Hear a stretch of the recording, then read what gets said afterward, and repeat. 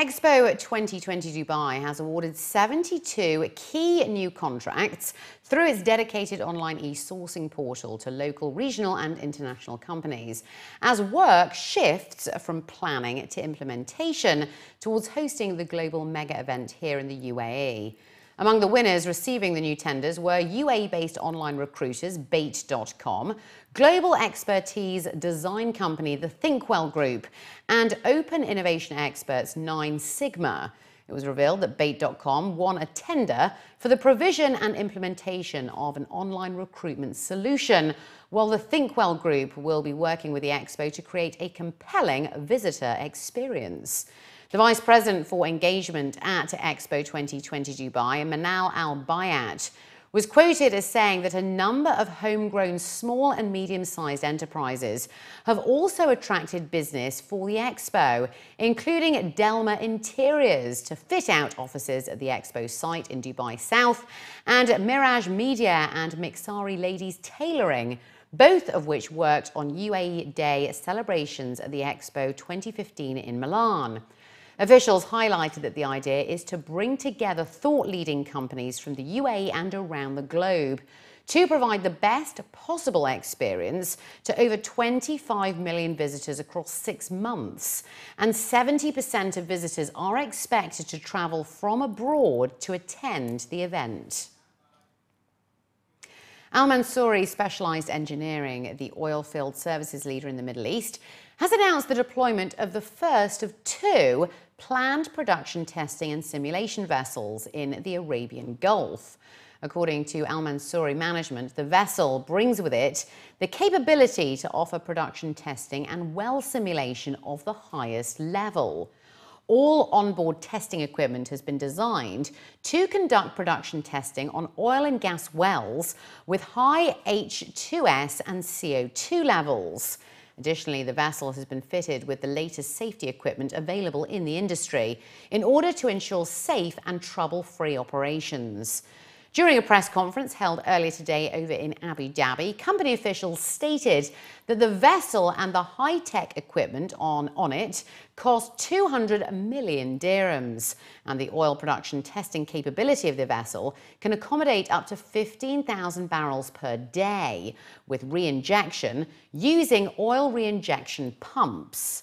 Nabil Al-Alawi, the CEO of Al Mansoori Specialized Engineering stated that the new vessel, with its range of unique capabilities, will substantially reinforce their capacity to offer production testing and well stimulation services of the highest quality and an enhanced level of operational efficiency to their clients.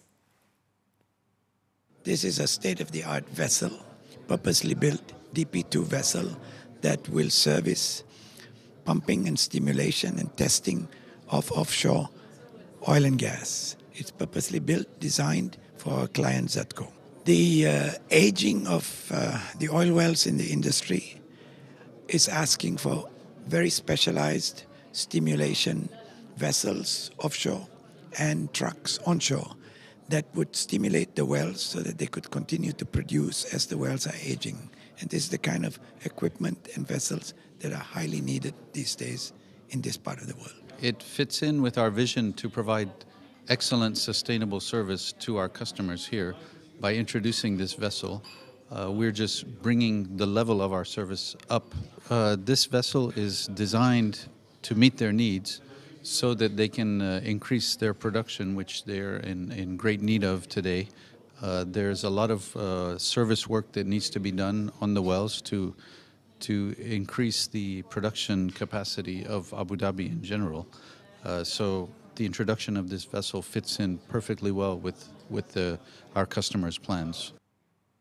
Etihad Airways will add three new weekly services between Abu Dhabi and Manila from the 1st of May next year. That's according to the president of the national carrier.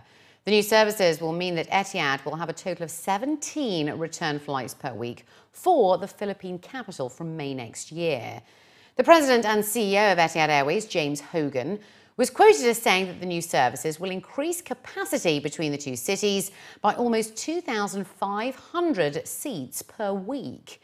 Airline officials revealed that the enhanced flight schedule also provides seamless connectivity over the Abu Dhabi hub, with 1,085 weekly connections to 58 destinations around the globe, including connections to Bahrain, Dammam, Doha, Jeddah, Kuwait, and Riyadh. It was also highlighted that the extra capacity will enable Etihad and its partner airlines in Europe to grow the business and leisure travel market from the UAE and countries such as the UK, France, and Italy. All 17 weekly flights will be operated by a two class Boeing 777 300ER. All GCC countries will complete the implementation of a new automated system for the electronic transfer of customs duties by the first quarter of next year. That's according to the Federal Customs Authority. The Director General of the FCA, Mohamed Bouseba, was quoted as saying, that the new system will boost regional trade among the GCC countries while also raising the competitiveness of the UAE economy. Officials highlighted that the system will boost the use of smart technologies across all UAE government departments, will also help in reducing paperwork and protocols, and eliminate any obstacles in the export and import of products across the GCC. It was mentioned that with the exception of Oman, all GCC countries have already started implementing the new automated system. The official implementation of the second phase started back in late October, with over 11,000 transactions valued at 91 million dirhams. The value of direct non-oil trade between the UAE and other GCC countries reached 750.4 billion dirhams between 2003 and mid-2015, with imports into the UAE accounting for 286 billion dirhams. Meanwhile, the value of non-oil exports in the same period from the UAE to GCC countries reached 185.6 billion dirhams, with re-exports amounting to 279 billion.